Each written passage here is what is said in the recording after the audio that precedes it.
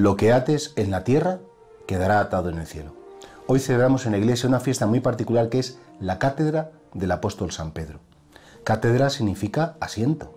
Y la cátedra, pues efectivamente, es el lugar desde el cual eh, se enseña algo importante. De hecho, un catedrático es alguien que, que, es un experto en una materia.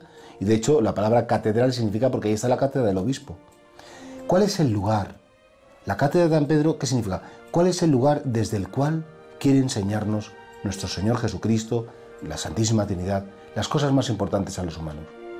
El lugar es un hombre, sucesor de Pedro, que los ha habido a lo largo de la historia mejores, peores, muy pecadores, muy santos, equivocados, acertados, pero que todos tienen la inspiración, la gracia, la promesa de Cristo, lo que antes en la tierra quedará atado en el cielo, esa promesa de que lo que enseñe el sucesor de San Pedro, que es el vicario de Cristo en la tierra, como una verdad de fe y con la autoridad de pastor universal, todo eso nos vincula en conciencia. Que a lo mejor el Papa dice que, el mejor equipo del mundo es el San Lorenzo, pues mire usted, no estoy de acuerdo. O que el Papa se pone a hablar de cosas que sabemos que son como más o menos opinables porque son modos de aplicar el Evangelio. Bueno, pues podemos tener una pluralidad. Ahora, cuando el Papa enseña la fe, cuando el Papa enseña la moral, cuando el Papa enseña la doctrina cristiana, nosotros tenemos que estar en una plena y absoluta comunión con Él porque sin, el vicario de Cristo no tenemos a Cristo. Él lo dijo, tú eres Pedro, sobre esta piedra edificaré mi iglesia y el poder del infierno no la derrotará. ¿Y cuál es esa piedra? La debilidad humana.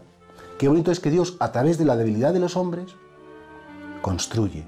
Esa piedra que, sobre la que edifica su iglesia no es una piedra especialmente fuerte, no es un granito, no es como, como algo así, no, todo lo contrario, es una piedra como que se puede romper. Y es que yo no creo en Dios ni creo en la iglesia porque los papas sean fantásticos, porque los curas sean todos maravillosos, ni porque le hagan todo muy bien. En la iglesia, por desgracia, hay escándalos, en la iglesia hay corrupciones, en la iglesia hacemos las cosas mal. Pero yo estoy en la iglesia porque creo que Jesucristo ha resucitado. Yo estoy en la iglesia porque creo que Jesucristo ha vencido la muerte. Yo estoy en la iglesia porque Jesucristo en la iglesia me da los sacramentos, me da la palabra, me enseña a vivir esa palabra.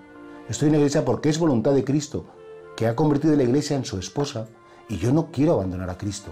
Decía un padre de la iglesia que nadie puede llamar a Dios Padre si antes no ha llamado a la iglesia Madre. Y por tanto ese querer tener a Dios sin papas, sin curas, sin obispos, pues es una especie como de locura.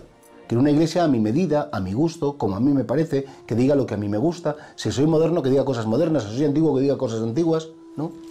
La iglesia de ahora, el Papa de ahora es la iglesia que quiere Cristo y el Papa que quiere Cristo en comunión siempre con el Santo Padre, queriéndole mucho, rezando mucho por él, pero sobre todo en lo que es su magisterio solemne, en su magisterio auténtico, seguirle en plena comunión, porque estar en comunión con él es estar en comunión con Dios.